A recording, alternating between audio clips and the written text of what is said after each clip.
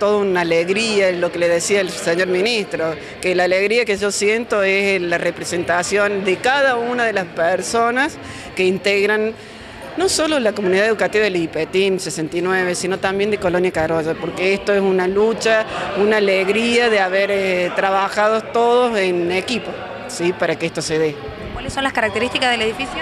El edificio tiene ocho aulas, dos talleres, sala de profe, baño, batería de baños para alumnos y para profesores, preceptoría, eh, un salón interno en donde van a tener las actividades y nos han alquilado también el sector de costado para que los chicos puedan hacer educación física. ¿Qué falta para que comiencen las clases aquí?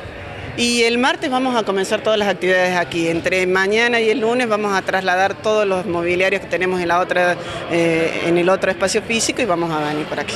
¿Los bancos incluidos? Todos son suficientes, digo, porque el ministro sí, desestimó... ahora una batería de bancos que, nos han, que son los que están en este momento aquí. ¿Creo que el ministro haya desestimado el, faltante de bancos? ¿Qué opinión le merece? Y no sé, él no se refería a los bancos como mobiliarios, sino como bancos de vacantes. vacantes. Y bueno, yo creo que hay que respetar. Nosotros estamos en la plena preinscripción de primer año y bueno, ya tenemos un curso completo.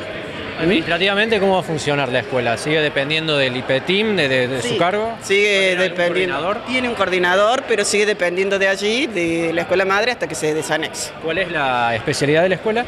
Industria de los procesos.